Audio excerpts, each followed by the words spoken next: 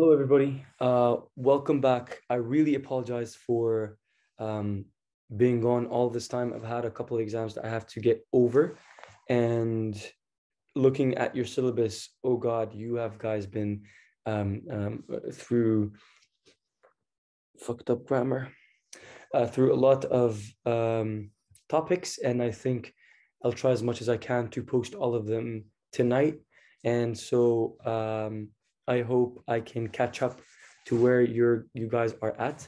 Uh, let me show you here. So you uh, have finished all of this in red.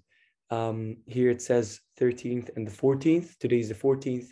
And I'll try my best to cover all of those topics and post the videos on the YouTube channels for your review. And because it'll be nice for you guys to have it uh, just before the uh, beginning of the um, uh, vacation because I think there's an oral exam just after the vacation. So I, I, I apologize again and again and again for being gone this this much, um, but I'll make up for you guys. Um, okay, so just another thing is that I have a new book um, that may help you or aid you in studying, and it has every single thing that you've got on your uh, muscle uh, syllabus, and it's called uh, Dissection uh, Room One and so if you're interested in purchasing it, uh, please let me know. Okay, so let's dive into this. Um, and yeah, before diving into it, actually, I have one, one, one more uh, information to share. I have been doing this for a, while now, and uh, the university has recognized what I'm doing. And so I've included them um, under our uh, um, in, included them on, uh, to to look at what we're doing, and so they've um, we've in, the the part of the university is involved in this right now is called IFMSA, uh, where we have registered what basically we're doing for the students of first year as a, as a program um, that will be hopefully continued um, for every first year that attends um, through every year uh, from now until let's say hopefully I resign from doing this.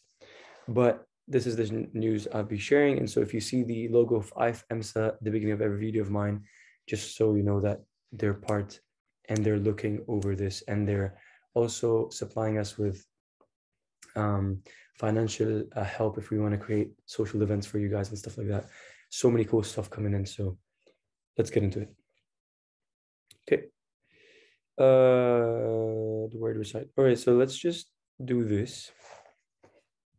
So on the right, right here, I have the notes that I, um, that you guys know, the, the book that I saw. And on the left are just my previous own notes that I used to study from, or, you know, I used to type my notes, put pictures together and just get everything in one place before I type out my speech. So uh, without further ado, so the oral cavity the oral cavity, by, by what it suggests, it's, it's the cavity that with, with, is within um, the boundaries of your mouth. So uh, it is divided into two parts, the vestibule and the mouth proper. And there, those are two different areas within your uh, mouth region, just, just between your cheeks.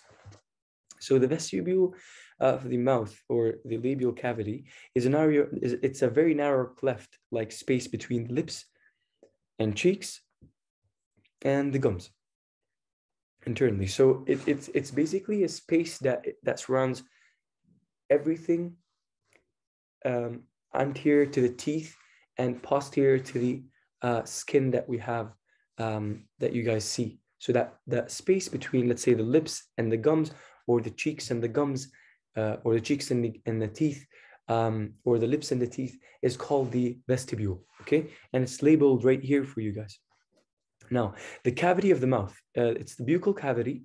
Okay, so its roof. Now, now we have a lot of things to pay attention to. There's a lot of structures in this in this region. The roof is formed by both the hard and soft palate. The hard palate is found anterior to the soft palate, which is found posterior to that. Um, and so the roof ends at the posterior part with the uvula.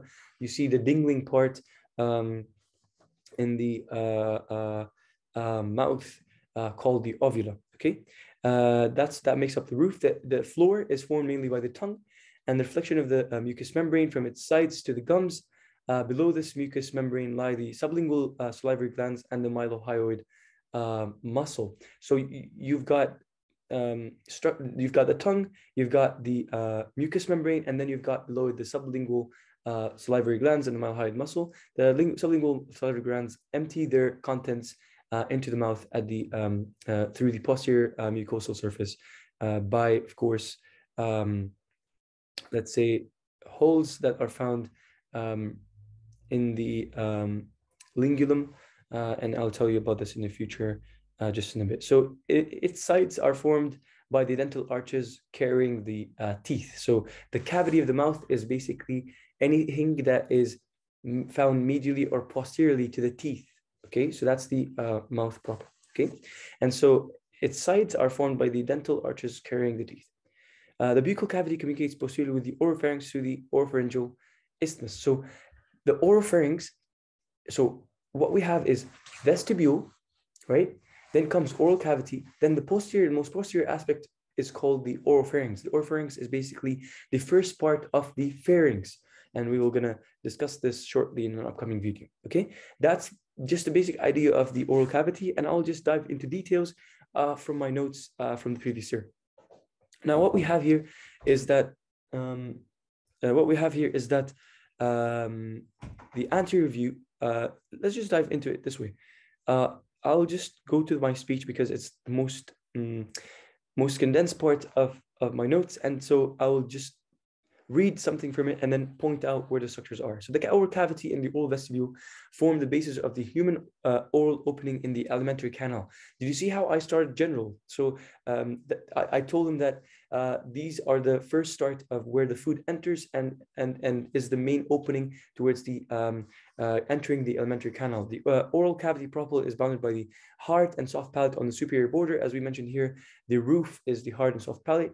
These separate the oral cavity from the nasal cavity. As you all know, that my nose, I'm breathing in, this air goes into the nasal cavity. And then so what separates that nasal cavity where the air takes, where, where is, which is the air passage uh, from the uh, oral cavity, which is the food passage, or also air passage, is the hard and soft palate. And so this forms the uh, uh roof. And then so um, uh, these separate the oral cavity from the nasal cavity, as I said. The uh, soft palate ends the uh, ends uh, with the uvula that has the tonsils near it. So uh, the uvula, as I said, is the dingling part that when you open your mouth, there's a dingling part. Um, and, and that dingling part is called the uh, soft palate, uh, the uvula, which is the most posterior part, part of the soft palate. And so you can see here um, that's the uvula. When you open your mouth, that's the uvula. So you have this part, the hard palate, then it comes the soft palate, and then comes the um, soft, uh, the uvula, and then so most posterior to that is the oropharynx, which is the most superior part of the pharynx. Okay. Um, next, we have um, uh, tonsils. We mentioned tonsils. So you guys are going to discuss a ring called uh, I don't know what the ring was called, but um, basically there are um, two, two, two, two. There's eight pairs of tonsils that exist within that region of oropharynx, just close to the uvula. And uh, the most closest that I, I, I, think of is either the palatine tonsils or the lingual tonsils that are close to the uvula. Okay, the posterior part, uh, border of the oral cavity is the oropharynx, as we mentioned, is the most superior part of the pharynx. Um, is close to the epiglottis that covers the windpipe and prevents entry of the food into it. So remember that the epiglottis, of course, it's part of the um, larynx um, and it's part of the laryngopharynx, that which is part of the pharynx. Um, and so the epiglottis is, is that structure, that, cartilage, that cartilaginous structure. It is a non-paired cartilaginous structure that closes the windpipe so that nothing goes into um, the uh, nothing goes into um, in uh, uh, uh into the windpipe uh, as a form of food. So just don't mention this here because he will probably trick you there, but I just mentioned it just for more information, so I know where these teeth are located. So the oropharynx um, uh, is close, of course, to the uh, the posterior border of the oral, uh, cavity is oropharynx, which is close, which is close to the epiglottis. Okay, the floor of the mouth now. The floor of the mouth is made up of the tongue and form uh, forms the inferior border of the oral cavity proper. Okay, so of course the floor, as I mentioned here, uh, is made up of the tongue. Below that is the mucosal membrane. Below that is the sublingual salivary glands and the mylohyoid muscle. Lateral borders, sorry, no, sorry. Uh, um, yeah, so the anterior border of the mouth is made up of the teeth and the gums. Uh, also, the lateral borders, as, as mentioned here, is also made up of the cheeks and the teeth. Okay. Now, uh, mm, well, I, I, would not say the cheeks here. I, I was mistaken. So the lateral borders of the oral cavity is made up of the teeth and the gums. Because remember, everything posterior medial to the teeth is the oral cavity proper. Anything anterior and lateral to the teeth is the vestibule. Okay. Uh, then we have the oral vestibule. That's the second part that we're going to discuss. The oral vestibule, on the other hand, is between the teeth and the gum on the medial border, the cheek on the lateral border, and lips on the superior and inferior borders. So you see, so everything that surrounds it on the anterior side of it or the lateral side of it is the skin, and anything medial and um, posterior to it is the teeth. That's the oral vestibule. Um, the oral vestibule meet the um, internal uh, uh, maxillary curvature on the uh, posterior aspect. Okay, uh, the connection between the um, inferior lip and the gum is called the inferior labial frenulum. So within the vestibule, you see that there, there's there's like a frenulum that connects the inferior lip with the with the inferior part of uh, part of the gum. You can actually touch it right here mm, with your tongue. You can actually feel it. Um, it's called the inferior labial frenulum, and superiorly between the superior lip and the superior part of the gum is called the superior labial frenulum.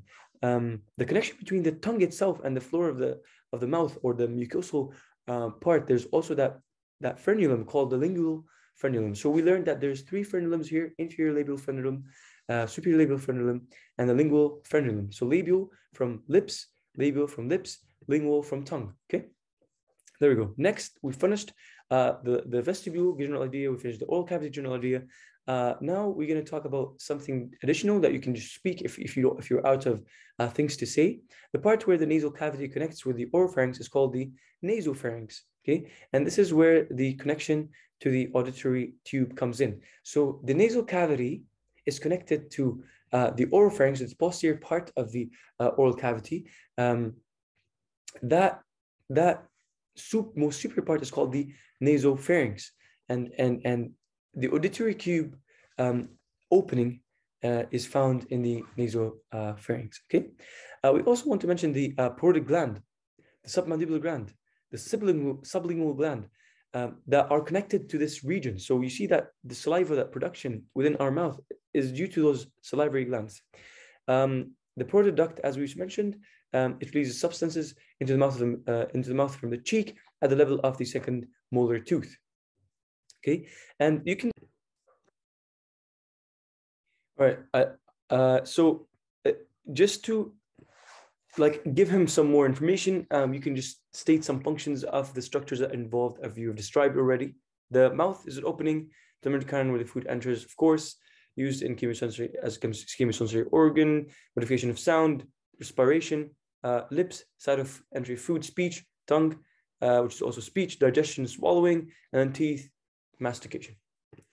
Oral cavity proper, vestibule, and all good. Okay. Um, this is this is basically it for the oral cavity proper and the oral vestibule. And, and this part right here is actually very sufficient for, for giving him a general idea. And I think he will love just you saying this. If he needs more information, you've got my own notes here for your own reading. Um, and so yeah, and everything that you see here is basically discussed with you guys. Um, yeah, that's the oral vestibule. Um, these pictures are very are very good actually. Uh, you see here the oral cavity is right there. Um, the hard palate is separating the nasal cavity from the proper ca oral cavity. These are parotid glands, sublingual gland, sublingual, uh, sublingual gland. Um, the uh, again the uh, frenulums, the uvula, the tonsils we mentioned, and then functions of the oral cavity, uh, muscles involved here, the salivary gland, uh, the enzymes involved, uh, some more functions, the vestibule organ, um, in in some features of it, and then just that's that's just my um, condensed speech for your use. Okay, uh, as I said, this this was it for for the oral cavity and the vestibule. If you're interested in this book, please shoot me a message and wait for an upcoming video very soon. And let's go tackle this.